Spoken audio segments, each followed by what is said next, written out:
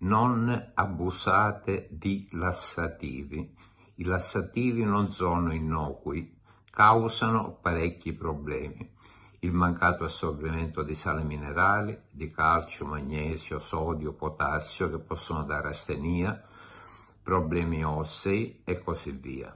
Inoltre provocano una disidratazione con anche il rischio di trombosi.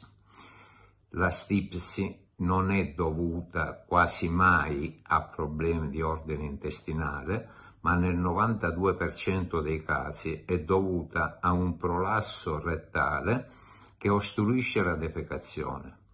In altri termini, quando scendono le feci dal sigma, il retto si abbassa, ostruisce il lume e impedisce quindi l'espulsione delle feci. Nelle donne si forma spesso un rettocele, che è una dilatazione del retto distale, e questo può spingere in avanti la vagina.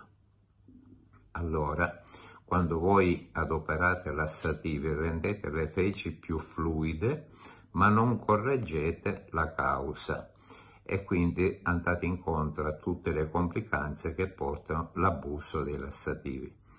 Vi è una tecnica chiamata STAR che senza incisioni cutanee elimina questo prolasso rettale, questo rettocele, con una procedura assolutamente indolore che richiede solo una notte di ricovero in ospedale e risolvete tutti i problemi correlati a questo prolasso, che non sono solo la stipsi, ma la stipsi a lungo andare causa anche la formazione dei diverticoli del colon.